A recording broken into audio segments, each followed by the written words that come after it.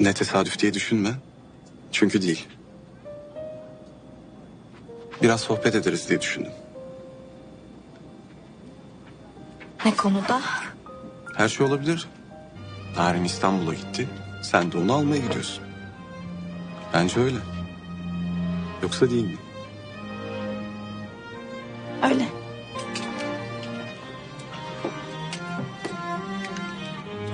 Bir saniye.